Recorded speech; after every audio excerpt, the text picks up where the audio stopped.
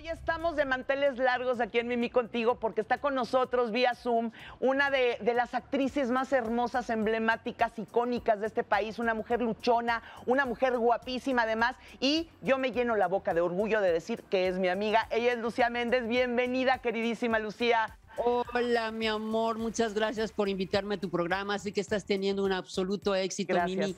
Tienes una muy linda esencia y yo creo que eso es lo que pega en la gente, en el público. Por eso estás teniendo tanto éxito, porque tu manera de ser es muy bonita. Qué Siempre linda, mi reina, qué linda. Sabes lo que te quiero y tú siempre tratando de darle lo mejor a tu público. Te estrenas como conductora en un canal digital, en una de estas plataformas. Cuéntame de eso. Te estrenaste ayer, ¿verdad? Ayer se estrenó tu, tu programa.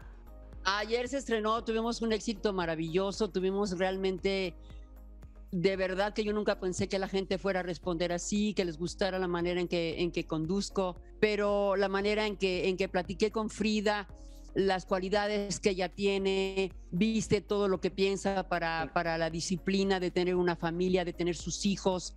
Son muchas cosas muy padres que realmente descubrimos de ella y, y- y me encantó, me encantó platicar con ella porque la conozco desde niña, se agarraba almohadazos con Pedro Antonio, ya te imaginarás las almohadas, las plumas, por donde andaban. Pero la verdad que, que yo la, la quiero mucho, quiero mucho a todas las eh, Pinales, a toda la Pinal, a la Guzmán, a la, a la, a la Pasquel, la adoro. Entonces es, es una familia que quiero mucho más. Sin embargo, ella abrió su corazón, abrió lo que ella siente, eh, su madurez, la sentí muy bien, la sentí contenta. También a ti te tocó una época bien difícil, donde tú eras la mujer más deseada de este país, la más guapa de este país, la más famosa de este país. ¿Sufriste alguna vez algún acoso?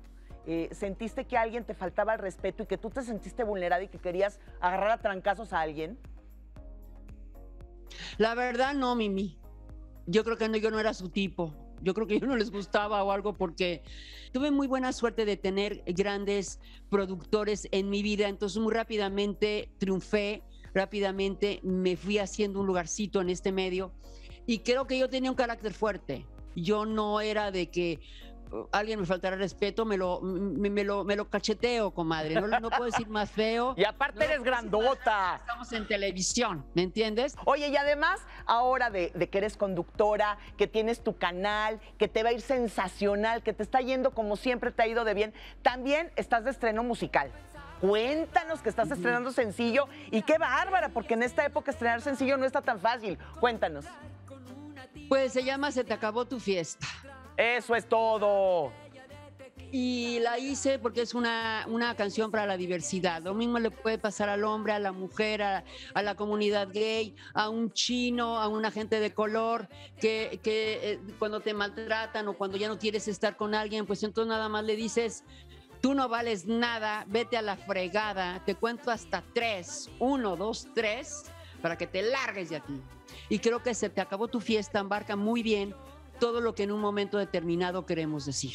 Pues querida Lucía, como siempre es un placer, ya sabes que esta es tu casa, cuando quieras venir a platicar, aquí echamos el chal, el chisme, como siempre lo hemos hecho, gracias, gracias de verdad, te quiero, te admiro, te mando un abrazo y todo el éxito en estas nuevas aventuras. Un beso, te quiero Muchas amiga, un abrazo.